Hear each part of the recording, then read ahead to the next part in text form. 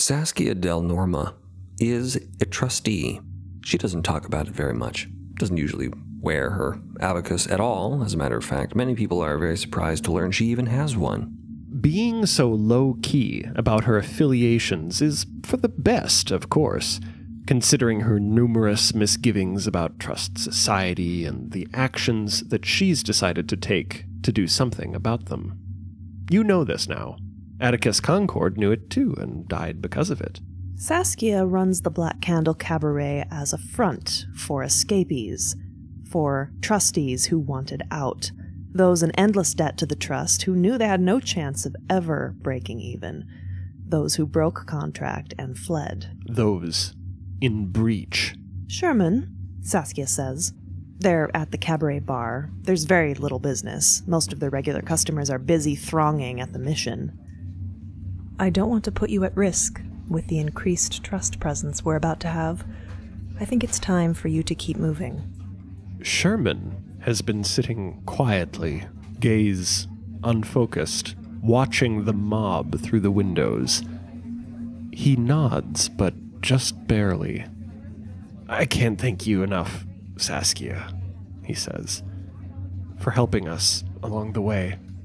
That one other bartender, you remember the one, the socially adept one, is coming around the bar himself, and he sees this exchange and he knows what it means. He knows that it applies to him, too. He nods.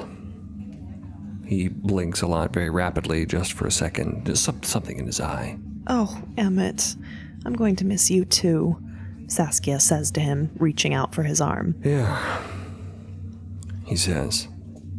It's been a good run. Sherman, he circles the bar. I, I, I don't know quite how to say this. All the best to you, Sherman says, gives him his hand. Journey's mercies. Maybe we'll see each other again someday. Where's Zila? Saskia asks. We need to get all of you moving. She was out with her school friends earlier today. Then she wanted to tag along with Lark while she was in town for her errands. I told her to be back by now. I don't know why she's late.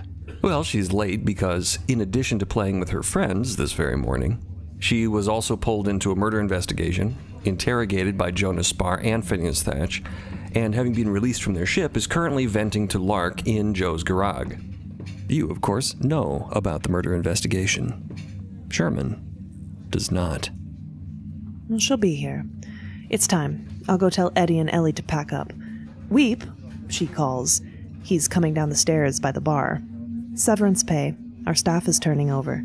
Oh, yep. Seems like a maybe a good time for that sort of thing, Weep says, coming down the stairs, but stopping and turning around to go back up again.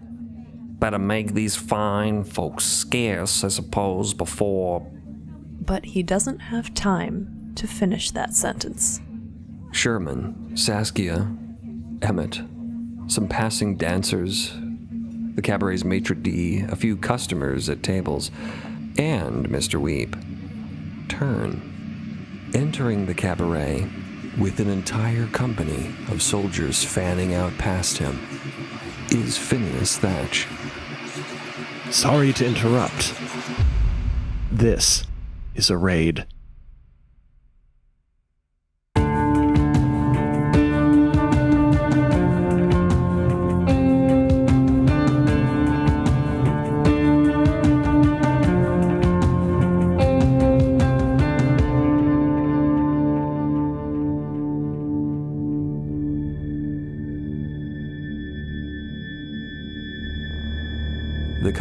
Company are streaming in, fanning out throughout the space, weaving through tables, blocking all avenues of escape from the cabaret. There's someone positioned at every door, every window, even. No one is allowed to leave, no one is allowed to enter. Phineas is in charge of this operation. This establishment is harboring refugees in breach with the trust. Those in violation, declare yourselves voluntarily, and your sentence may be reduced. Phineas isn't quite sure, again, if this is exactly what you're supposed to say. He's sort of winging it here. There's a deadly silence inside the cabaret. He certainly seems to be commanding everyone's attention. But everyone stares at him, mute and frightened. No one says anything. No one has anything to declare. So he forges ahead. Company, search the cabaret. And they do. They move forward, seizing everyone pretty much indiscriminately. Question everyone. Get their names, proof of residency. Make sure all of their papers are in order. And no one resists. Nobody wants to dig themselves in any deeper. Those in attendance who are runaways, of course, don't want to give anything away.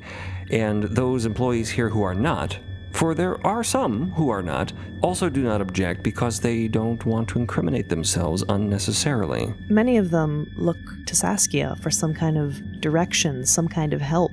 Weep is standing halfway up the staircase to the upper balcony, frozen, seeing all of this. No, this is too soon. He wasn't supposed to be here when this happened. This wasn't nearly enough time. Saskia is naturally horrified. She breaks away from the bar, nervous, but face set, determined, and marches straight up to Phineas. Do you have some kind of proof of this supposed breach? You're so fond of paperwork, then show me your certification for this unannounced search immediately. You have no right to walk into my establishment without very good reason, sir. Almost casually, Phineas produces a list, unfurling it before her very eyes. She scans it.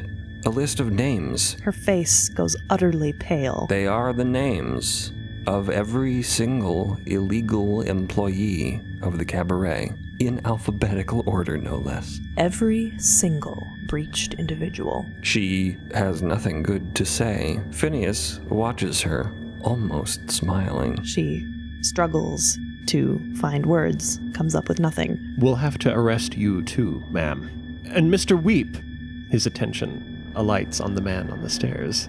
You could be of even more help if you'd just point out each of these people to us. Weep practically shits himself. He clutches the railing of the staircase as all eyes in the cabaret turn to him, Saskia's, ever so slowly, included. She turns almost reluctantly, almost as if wishing that she wouldn't find him there when she turns around. But there he is. On the stairs, looming over the audience chamber at the front of the cabaret. His face, perhaps unreadable as ever, but to her, the guilt is unmistakable. Oh. I see.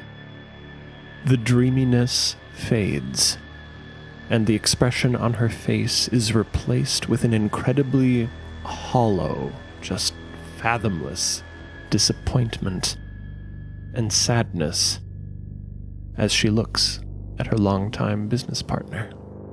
He looks back at her, fighting to control his expression. This is not how this was supposed to go. She wasn't supposed to know it was him. No one here was. The cabaret is silent, all eyes on him. Phineas is still waiting for an answer.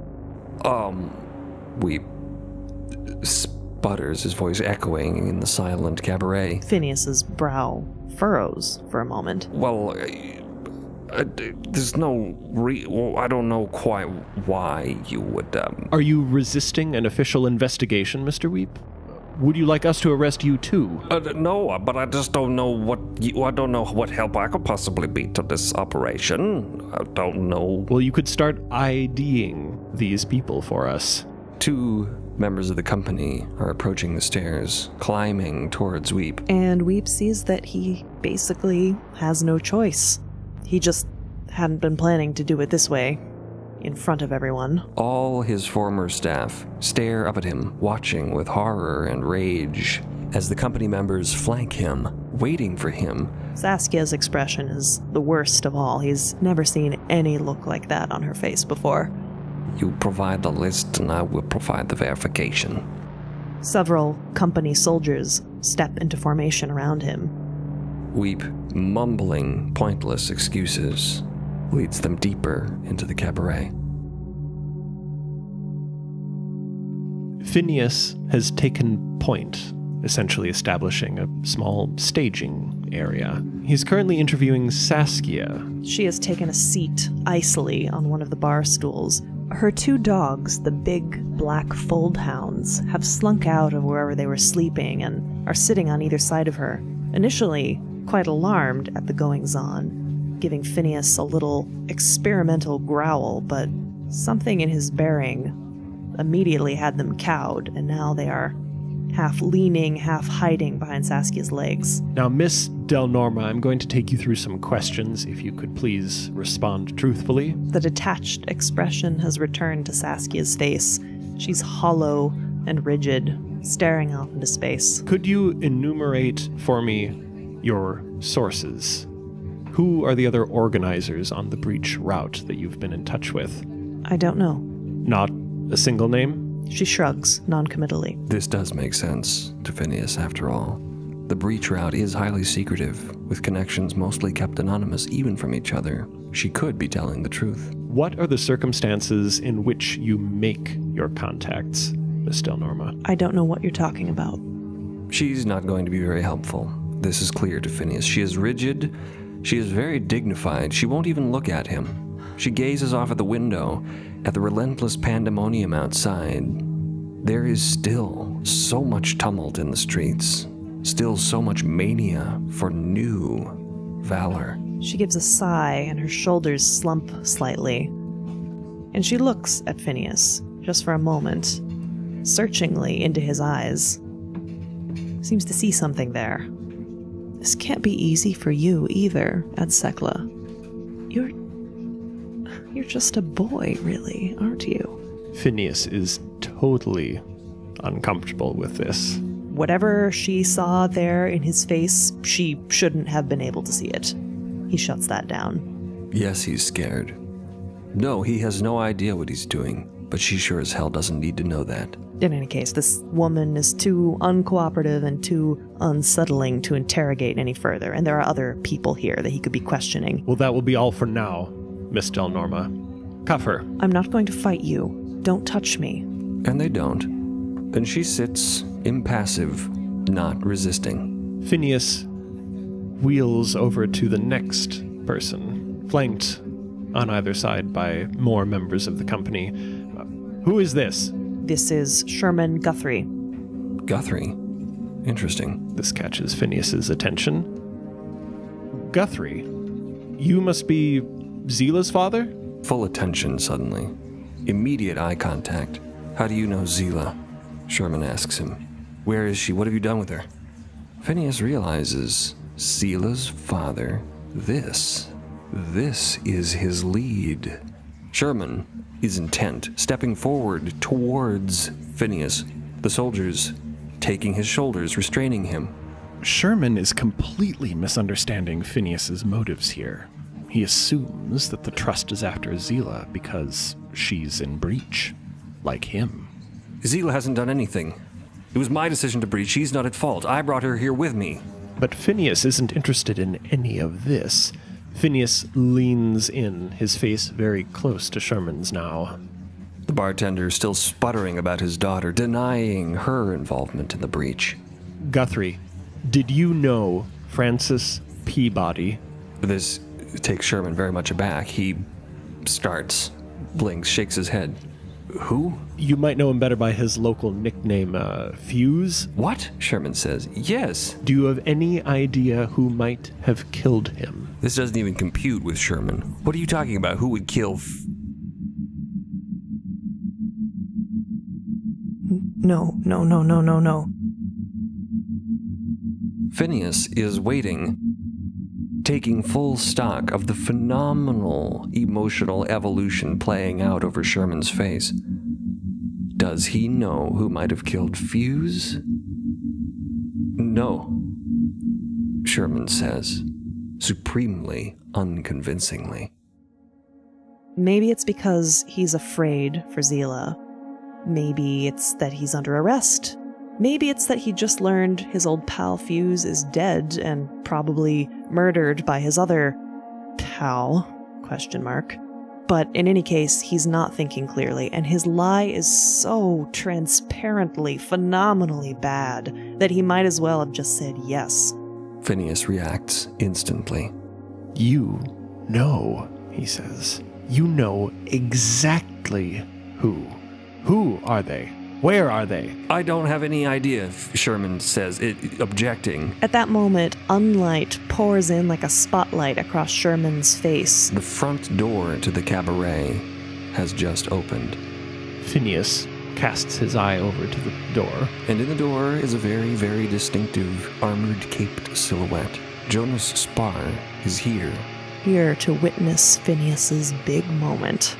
And the scene is a thing of beauty, Phineas realizes. Everyone in the cabaret is under his control. Everything is going exactly according to plan. And on top of all that, he has here under his thumb a lead in a legendary unsolved crime. Which, if solved, would redeem him completely with the absolution and valor he yearns for in the eyes of the trust, in the eyes of Spar. Do not show weakness. And in this tableau, with everything under his control, with all these breach renegades under arrest, the company responding to his command, Spar in attendance, gazing directly across the cabaret at Phineas, as Phineas stands before a sputtering man, making a fool of himself and making a fool of Phineas. And that just won't do. Phineas's armored fist collides with the side of Sherman's face. Blood and spit go flying. Sherman reels backward, completely dazed. The pain hasn't even set in yet. The continuous stream of lies and objections suddenly silenced. Phineas throws him against the bar, grabbing him by the shirt. And it's almost as if from a distance, Phineas hears his own voice commanding Sherman to give up the name. Give me the name. He hears himself, but it's as though it's coming from elsewhere. And Sherman is so surprised and hurt that he reacts in a very primal fashion, immediately lashing out as well, and that goes very poorly. His knuckles immediately split against the Adsecla's armor. And Phineas hauls him up into the air and slams him down onto the surface of the bar.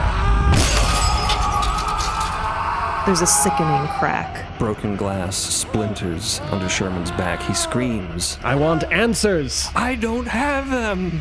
Sherman cries out. He does. He clearly does. And Phineas will have them. Makweep, by this point, has completed his circuit of the cabaret with the company's soldiers and has come back around to the bar just in time for this scene to greet his eyes. And is somewhat arrested by the display before him. Sherman is having the shit kicked out of him. Most of the staff are in cuffs, watching helplessly.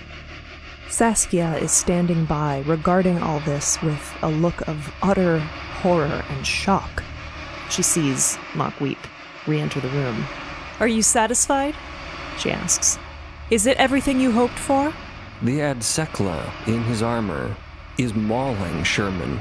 Sherman is now weakly, tremblingly trying to fend off the armored blows to his head and upper body. Phineas is beside himself, shouting in his face, demanding answers. If Sherman even has them at this point to give up, he almost can't get them out. It's as though the Adsecla has entered some kind of primal battle rage, and he can't even see that his efforts to get the answers out of this man are killing him. He's not going to be able to answer anything if he keeps this up. Is it everything he hoped for? This is all his fault.